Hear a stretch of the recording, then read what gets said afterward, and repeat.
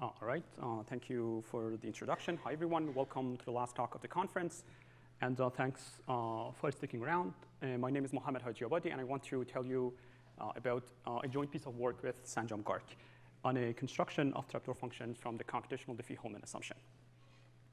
Okay, so trapdoor functions, you have heard about them probably a lot during this conference. Um, they are a fundamental primitive in crypto. They were first introduced in a landmark landmark paper by uh, Diffie and Hellman in 1976, which sort of uh, developed the foundations of what we now call public key crypto.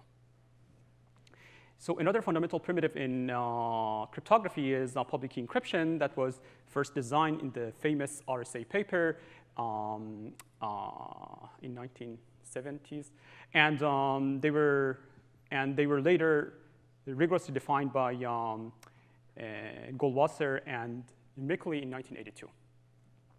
So uh, in order for me to uh, set up the stage and notation for this talk, let me quickly go over um, these two notions. I'm sure that all of you are uh, familiar with, but just to uh, set up the notation. Uh, public encryption, uh, as you all know, as, as you all know, is given by three algorithms, G, E, and D.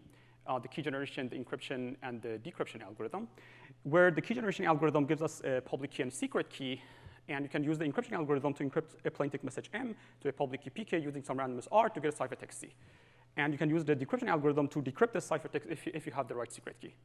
Uh, in terms of security, we have the basic notion of semantic security, which says that uh, encryptions of any two uh, plaintext should be computationally uh, indistinguishable.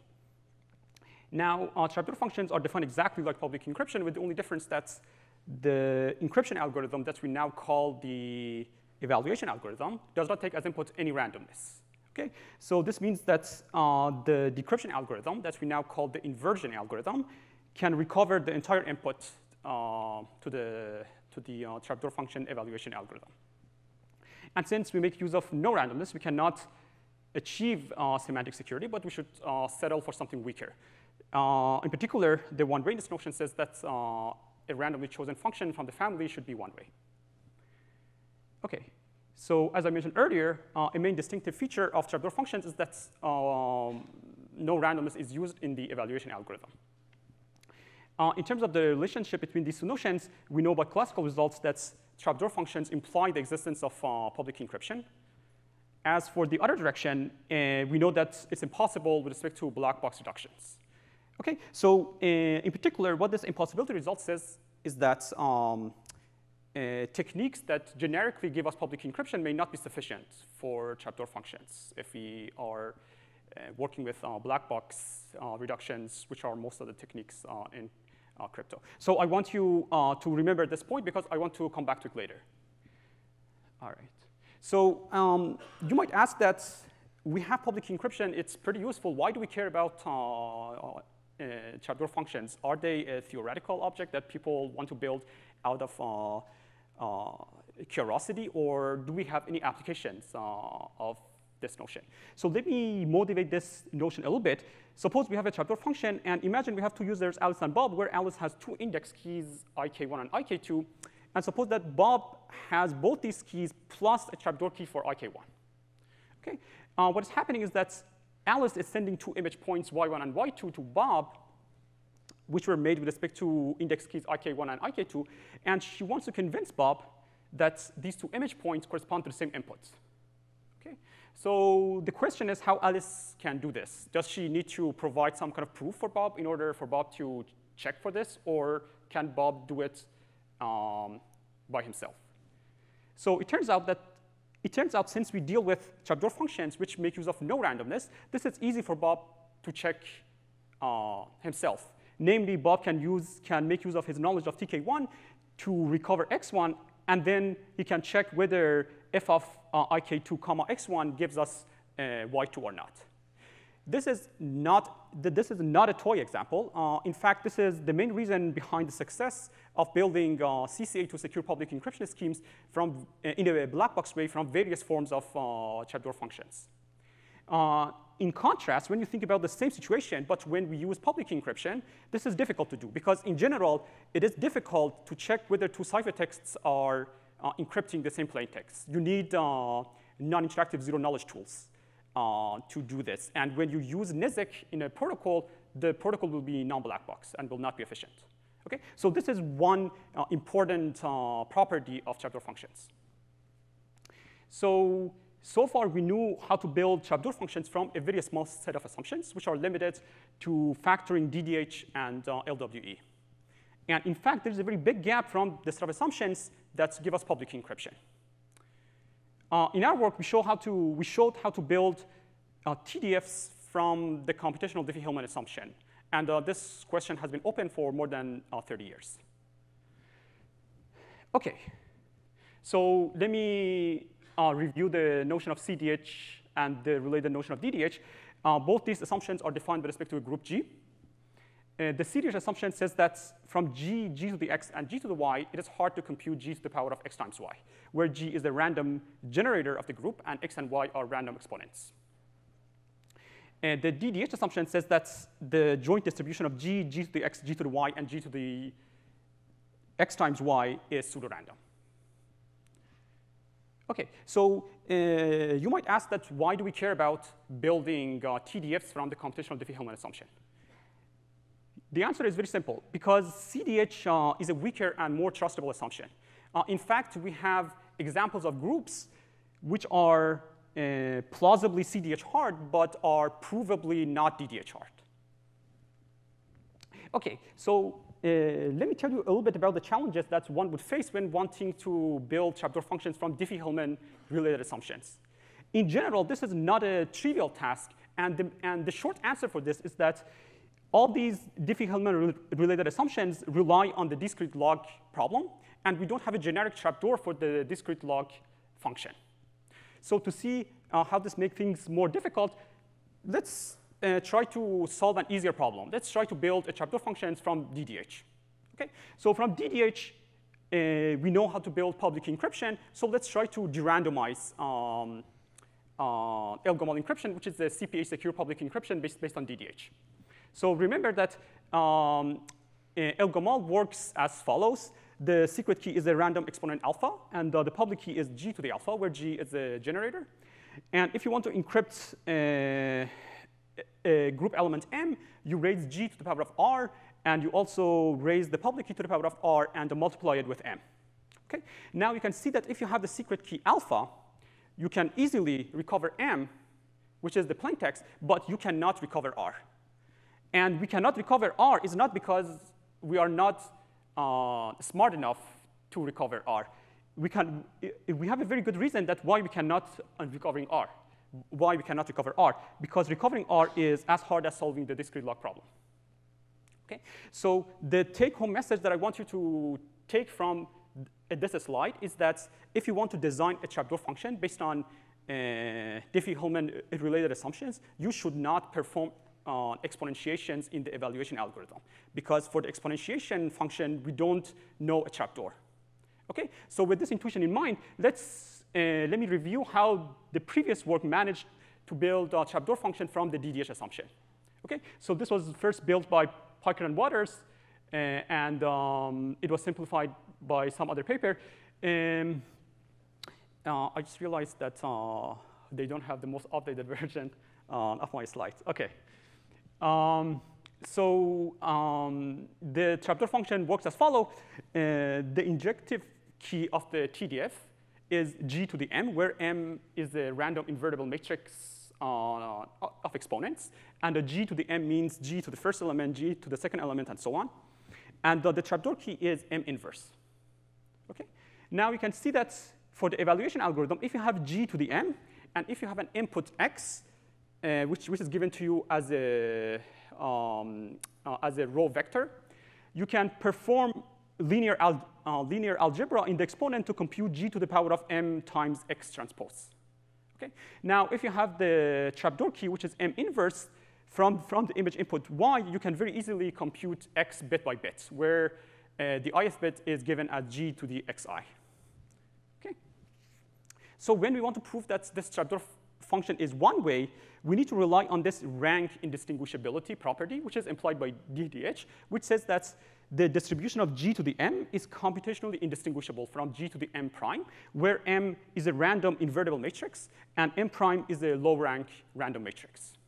Okay? This property can be proved based on DDH, but it cannot be proved based on CDH. The main reason is that when you want to prove uh, this property one way or another, you should reason um, about a homomorphic property uh, of the underlying hardcore function. And we don't have such a property based on CDH. So we do not really have any techniques that uh, give us uh, trapdoor functions based on CDH. So uh, this is what we do uh, in our work. We give the first construction of trapdoor functions from the computational Diffie-Hellman assumption. Uh, our um, our um, methodology in a very high level uh, involves de-randomizing a, specific class of public encryption schemes.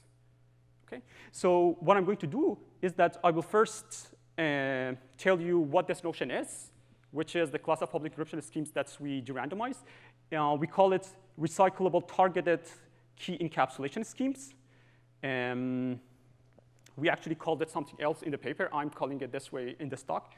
Um, this notion combines properties from some previous work, from, uh, from a piece of work of Sanjam and Döttling last year, and from a paper of uh, Bellare et al. from 2003. So I will tell you what this notion is, and then I will show you how we can build uh, functions from this notion. And I will refer you to the paper uh, on how we can build this notion from CDH. OK, so let me tell you what uh, recyclable targeted KEM is. So it's a kind of uh, key encapsulation mechanism enhanced with some properties, uh, some uh, properties. So let's review the notion of KEM. Uh, a KEM scheme is defined exactly like a public encryption scheme with the only difference that the encapsulation algorithm does not take as input any plain text message M. Uh, it takes as input a public key PK and some randomness R, and it gives us a ciphertext C, which is encapsulating in some sense uh, a key E. Okay? So it is encapsulating in the sense that if you have the right secret key, you can derive the value of E from C. All right? So um, in my talk, I'm always going to assume that E is a single bit. All right, so this is the notion of KEM. Now let me tell you what uh, these two properties mean. Let's start with the targeting uh, property.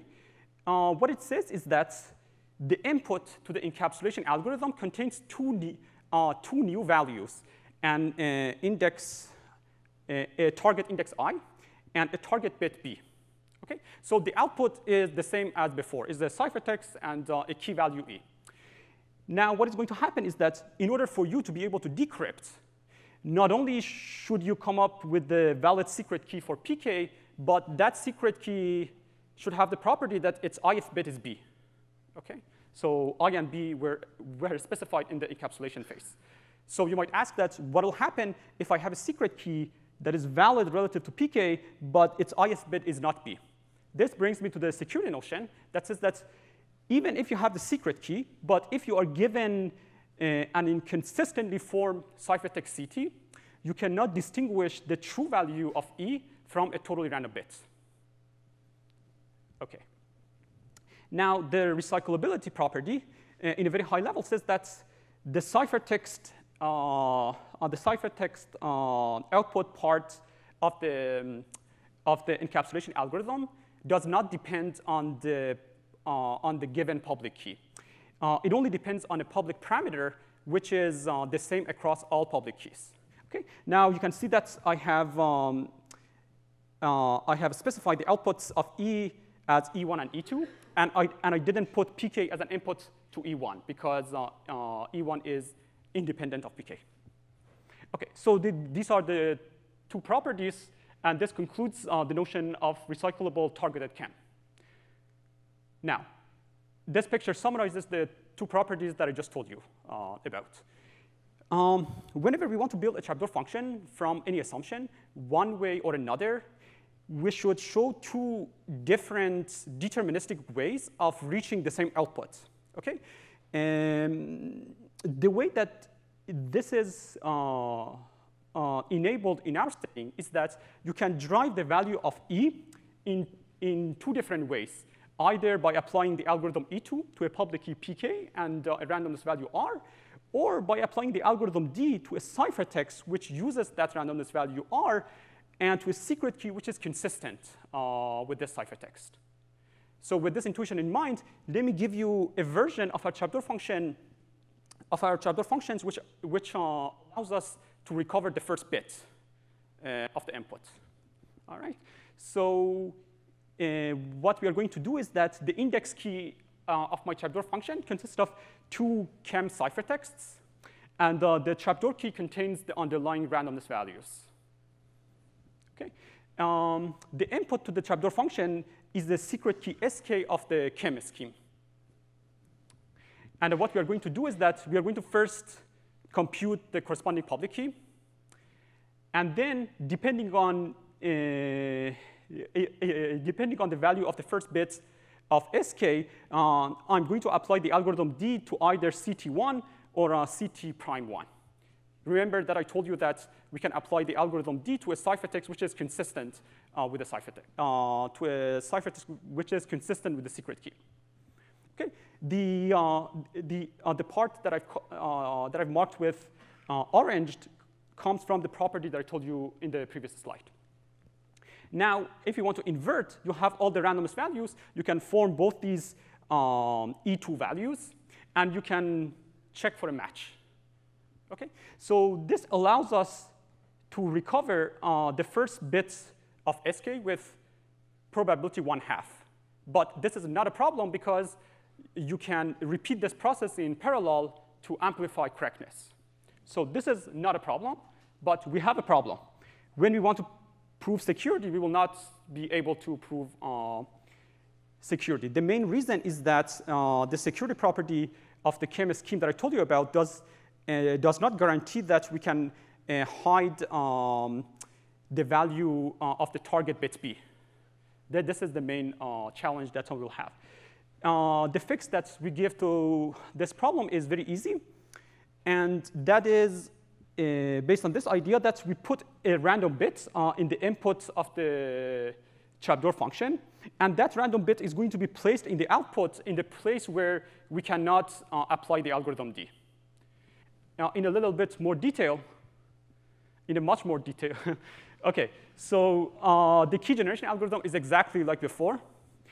Now, the only difference is that uh, in the evaluation algorithm, I have a new bit B1. And the way that I'm going to uh, form the output is that I will uh, apply the algorithm D to one of the to one of the two ciphertexts. I can apply it to only one ciphertext. And for the and, and for the position that I cannot apply D, I will put uh, the bit B1, which is, which, is, which is coming from the input. This magically uh, solves the problem. And if you want to know how it solves the problem, I will refer you to the paper. OK, so, uh, so I gave you a construction that allows us to recover the first bits uh, of the input. You can uh, do the same idea to recover all the bits uh, of the inputs in a secure manner. All right, so let me conclude. Uh, we gave a construction of trapdoor functions from the computational Diffie-Hellman assumption. Uh, as a couple of uh, open problems, we would like to know whether we can build more advanced forms of TDFs from the CDH assumption, like lossy trapdoor, lossy trapdoor functions. And as a second open problem, which I think is very interesting, it is um, whether, uh, whether we can build or separate uh, trapdoor permutations from a CDH or DDH. Thank you very much.